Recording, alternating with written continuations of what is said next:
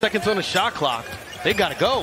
McClung. Up and under, beating the clock. Watch this play, Chris Mile. Drive it hard. Goes up, under, switches hand with the left. Those years of mediocrity, if you will. No look past the Wiseman. Good pass. McClung comes down, he looks off the roller and throws it to Wiseman. The manipulation there is important because the help side is stuck, whether they whether they should tag the big man. What do you think of Mac McClung as a point guard? Could have got way above athlete. I, I think I like that shot. Right, they, they've accomplished so much in four championships in, in, in eight years, and, and you, you, need to be able to develop in a system and develop that next level. Extremely good. Went up and down, did a lot of five and five, and by the time the season rolls around, it'll be about 18 months. Love his size, his shooting 6'6", 205. Excellent pick for the Golden State Warriors. McClung has the last six for the Warriors. Did God! Check it out again. Pushing it. Drawing the defense and go around his back. Okay, and that's a nice finish. Decision maker.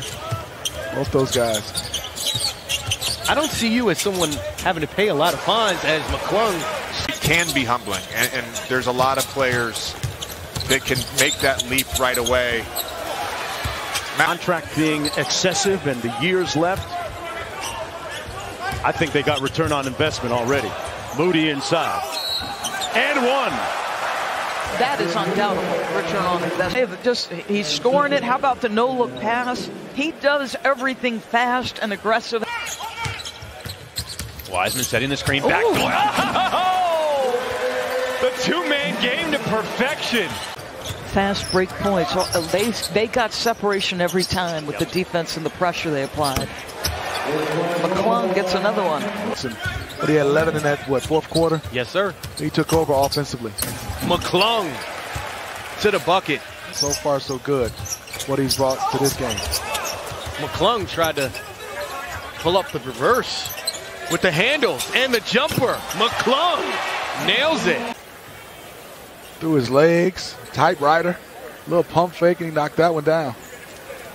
Once drove it right on the right side and finished with the inside hand. McClung at it again and one. Mac McClung trying to go to work with the left high off the window. Nice move by Mac McClung, the G League Rookie of the Year. And he had 11 points in the fourth quarter. See what he'll, what he'll do here today. McClung up and under.